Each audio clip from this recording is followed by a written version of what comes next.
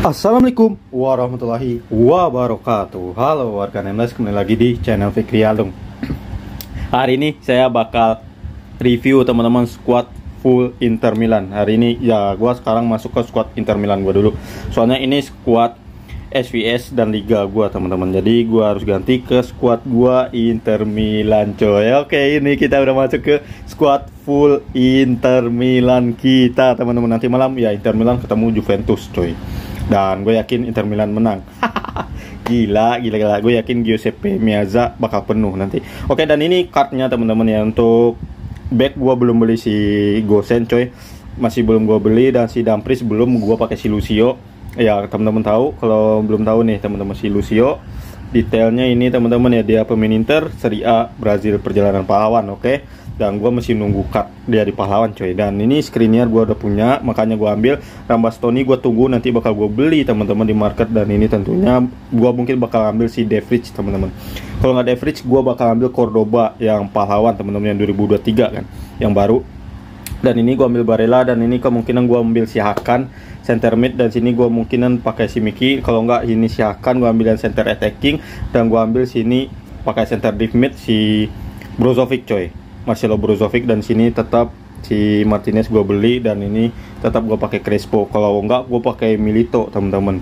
Yang pahlawan juga teman-teman. Yang tapi yang pahlawan yang sekarang kan yang 2023 bukan pahlawan yang over 107 tapi pahlawan Milito yang over 109 coy. Atau enggak di sini bakal gue ambil Eto'o tapi Eto'o terlalu mahal jadi kita pakai ini aja dulu teman-teman ya. Gue pakai formasi 5 2 1 2 Renca, uh, formasi aslinya Inter Milan kan 3 4 352 kan teman-teman. Jadi gue pakai formasi ini. Oke saatnya kita review formasinya kita coba review permainannya teman dan jujur ini pertama kali gue main pakai formasi 5 back teman-teman. Oke selamat menyaksikan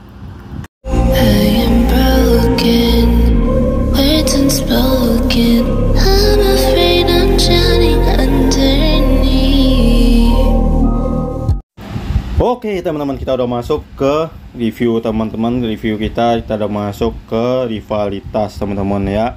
Dan ini kita ketemu si Akbar teman legend juga dan kita juara FIFA tapi kita turun rank teman-teman. Itu 993 rencana mau gua turunin lagi sih teman-teman.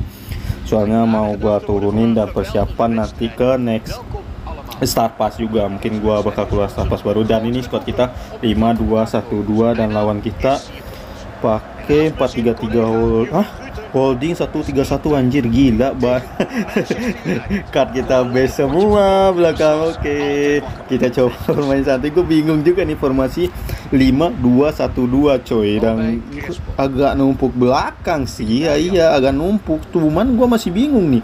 Ini agak ke tengah rapat ke tengah jadi oh, oke. Okay. dan gini gini. Jadi LW LWB sama RWB nya ya kayak Gosen sama si Lucio harus naik dong. Kita coba kita coba ya kita coba. Dan ini Nicolo Barellanya skill move bintang 3 ya teman-teman kalau nggak salah ya, skill move bintang 3 dah. Oke kita coba. Nanti kita coba ambil si Barella yang UCL ya teman-teman. Dia bukan skill move bintang 3 aja tapi skill move bintang 4 itu lebih suka sih gua. Soalnya kenapa center mid kalau enggak itu mah agak payah juga sih anjay kayak pemain gua gampang banget ya direbut bolanya temen oke nice tenang tenang. Ah pelanggaran pelanggaran. Yo ampun. Gol dah gol dah.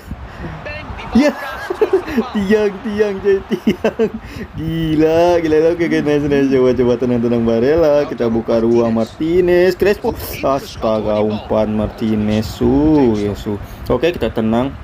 Arturo Vidal nih card end of era ya teman-teman ya. Ini waktu masanya masih GG Gaming sih teman-teman ya. Ini gua habis banyak juga buat dapetin Arturo Vidal coy jangan salah waktu itu. Dan sekarang ya offernya ketinggalan jauh. Oke astaga. Ah pencet coy pada gua mau sekali skill move lagi coy astaga Crespo Crespo. Oke itu Crespo gratisan ya coy ya teman-teman. Itu kalau nggak dapat kalau nggak salah kita kompensasi apa waktu itu? Gue lupa teman-teman gue dapat ke Crespo dan alhamdulillah teman-teman. Jadi gue nggak butuh ambil Crespo yang di market kan yang event UCL kan icon. Tapi ya sama-sama over 108 sih. Cuman di gue belum lihat statnya di gua bagusan yang Crespo yang gue gratisan untuk Crespo yang dari market yang UCL teman tenang nice. Untung finishing lawan kita bakuk coy ya untung aja teman-teman ya.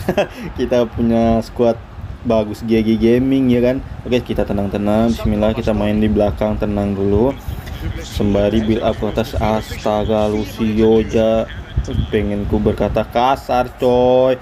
Tenang Bastoni tenang. Bastoni itu GG Gaming sih cardnya. Cuman kan ini card base nya coy.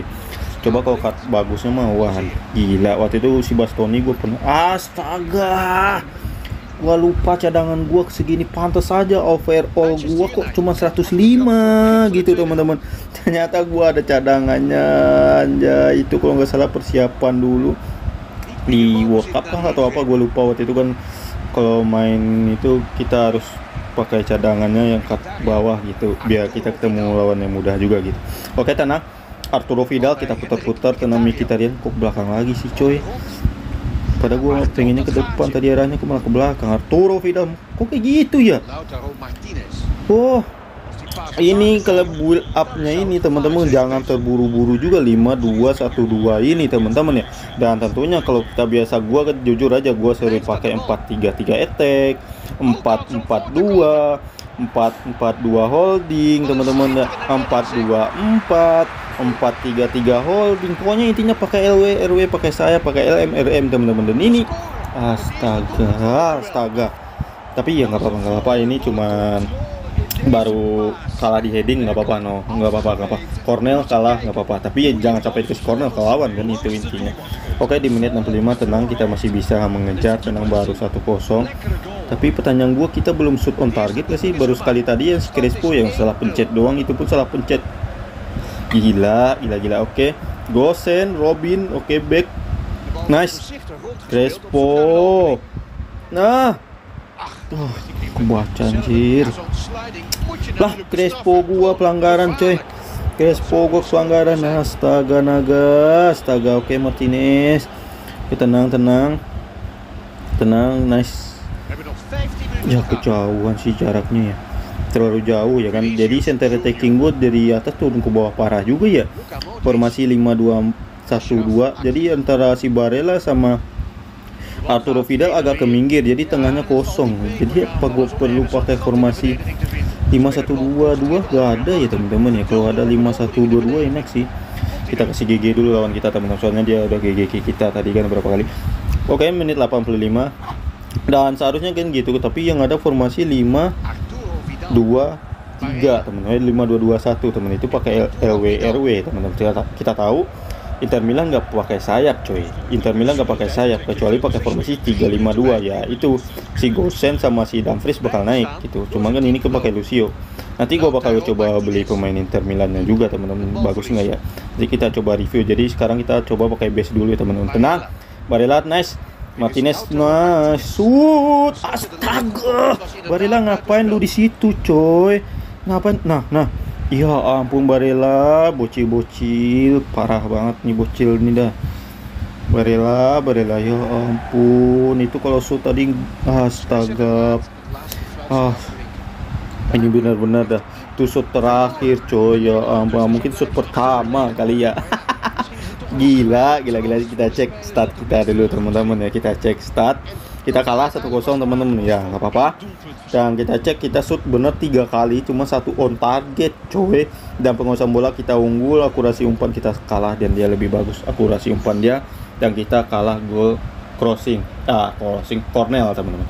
Oke teman-teman ya, terima kasih udah nonton channel ini. Kalau ada request mungkin pemainnya informasi gimana bang, tulis di kolom komentar ya. Sampai jumpa. Wassalamualaikum warahmatullahi wabarakatuh